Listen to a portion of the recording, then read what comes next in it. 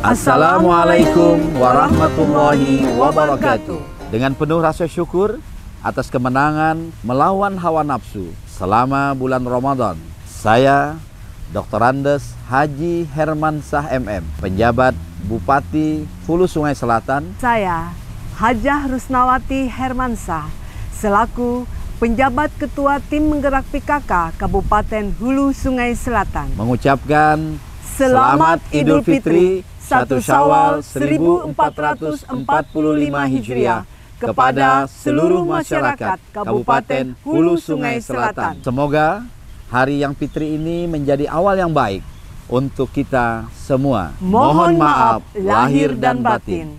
Wassalamualaikum warahmatullahi wabarakatuh.